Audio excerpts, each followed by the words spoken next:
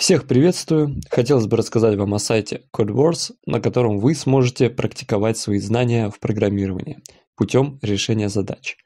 Сайт подойдет как для новичков, так и для разбирающихся в программировании людям. Какие же есть особенности у сайта? Во-первых, сайт полностью на английском языке. Надеюсь, с этим у вас проблем не возникнет, но если все-таки они есть, то советую установить расширение на ваш браузер – которая позволит переводить текст в онлайн-режиме.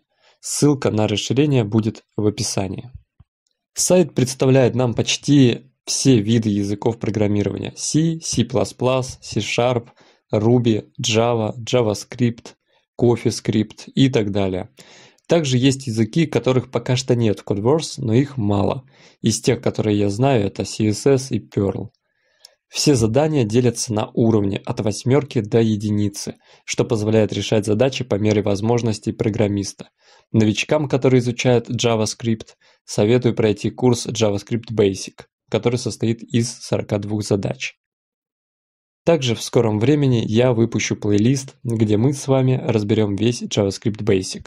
Так что подписывайтесь на канал, пишите комментарии, делитесь своим мнением.